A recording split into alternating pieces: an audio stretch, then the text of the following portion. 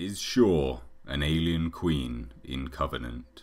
Many people recently have speculated this to be the case, either by David mutating her with use of the black goo, or using her reproductive organs in some way, say, to make alien eggs.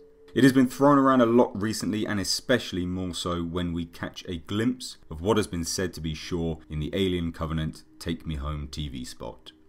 A common argument being used is that she was in fact infected by the black goo. If we remember back to Prometheus, we know that Holloway was infected at the time of sexual intercourse, and that was how Shaw, otherwise unable to bear children, had an alien fetus in her. We can assume from the way the black goo works that actually she was not infected, upon contact alone anyway. Holloway had come into contact with numerous crew and none showed signs of accelerated mutation. The argument that Holloway's sperm was infected, the sure is, can be disproved through what we have seen once an organism is mutated through the black goo. The hammerpedes that Milburn interacted with were heavily affected by the accelerant. They quite literally swam in it. Milburn then came into contact with the hammerpedes and was in fact suffocated by one lodging itself down his throat. If one can become infected by the black goo through contact of an affected organism, Milburn surely would have been. His corpse, however, showed no sign of this.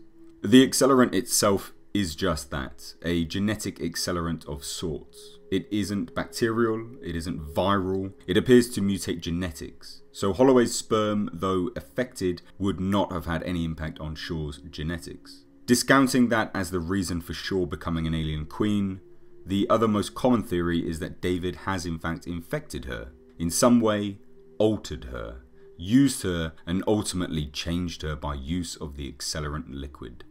David appears throughout Prometheus to have a fondness for Shaw, we know from recent interviews with Fassbender that David's emotional and human traits appear to be coming through more and more, and the emotional aspects of the David 8 model is in fact the reason why Walter was created as a much more robotic synthetic.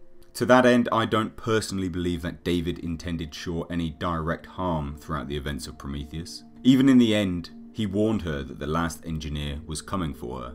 One could say it was self preservation that led him to do that, but I would like to say it was the fondness he displayed for her. The only way I believe David could be the cause of creating an alien queen from Shaw is either if Shaw is dead and David harvested her sexual organs for experimentation with accelerant. I don't, however, think this is likely. Or Shaw became sick or unwell, and in an effort to treat her, he may have attempted to infect her with some altered form of the accelerant. We have seen this similarly play out in the Prometheus Fire and Stone comic run. One of the crew has cancer and he believes through the accelerant he can have his cure. Maybe David thought the same, or along the same lines. However, having said all of that, do I believe there will be a queen alien of some kind in the new movie?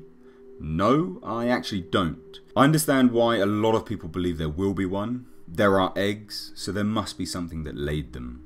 The subterranean level, however, where the eggs are, does not look big enough to house a full grown queen, and the eggs genuinely, to me, look to have been crafted. I firmly believe the eggs are made. It's the age old question, though, of what came first, the alien or the egg. Another reason why people believe this is that David is said to state to Captain Oram prior to the facehugger latching on, they are quite safe.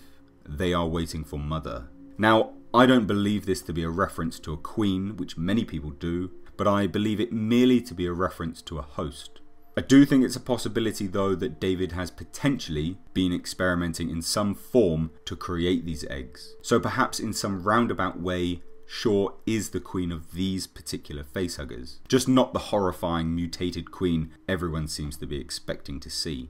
I could be entirely wrong, and I really would love to hear your thoughts on this. I understand and appreciate that this is just my opinion, built off reasoning and evidence, but it is merely my opinion, and I'd love to hear yours. So please drop them down in the comments section. Do you think Shaw will appear as a queen? If so, how do you feel she has ended up with this fate? As always guys, I can't thank you enough for watching. If you did enjoy this video then please consider leaving a like and subscribing to the channel for more in the future. If you think this video is worth it and you want to support the channel then please head on over to my Patreon page. The link is in the description box along with all my social medias. I've been Mr. H and until next time, I'll catch you in the comments section.